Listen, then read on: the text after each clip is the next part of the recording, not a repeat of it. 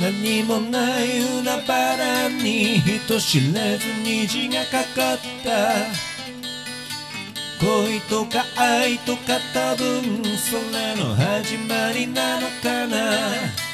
見えるよ見えるよ。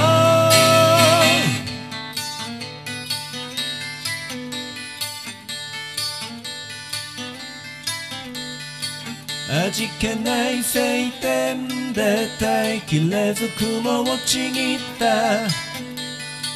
罪とか罰とか多分それの始まりなのかな。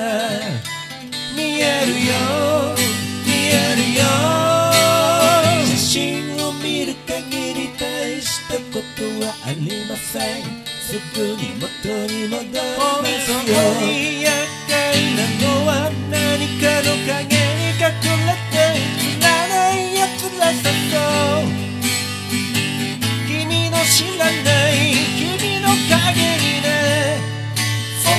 れが見たけりゃ袋に聞いてみな。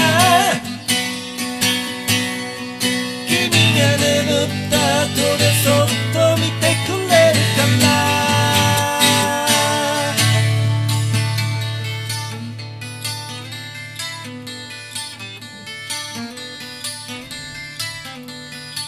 泣き止まぬ子のために仕方なくパンを盗んだ。欲とか差がとか多分それの始まりなのかな？見えるよ見えるよ。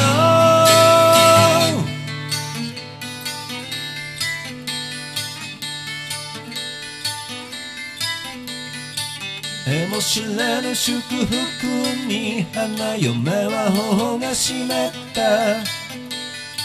夢とか闇とか多分それの始まりなのかな？見えるよ見えるよ。写真を見る限り大したことはありません。すぐに元に戻ります本当に厄介なのは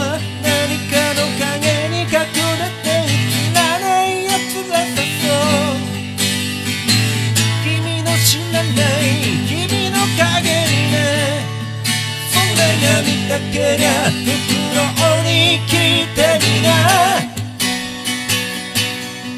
君が眠った後でそっと見てくれ